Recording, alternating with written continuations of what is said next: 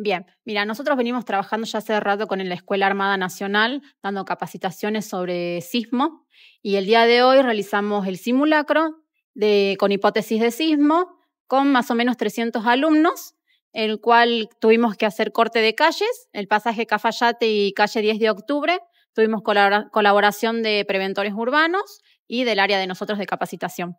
¿Cuánto demoró el sismo? El simulacro. el simulacro hicimos un ejercicio de un minuto 56, un excelente tiempo para la cantidad de alumnos que había, eh, aproximadamente 300. Eh, muy bien desarrollado, gracias a Dios, y bueno, con algunos temas para marcar. ¿Se va a seguir capacitando, se va a seguir realizando simulacro como se viene haciendo?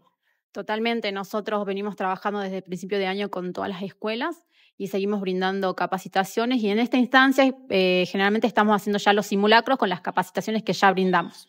Perfecto, Sol, muchas gracias. No, a ustedes.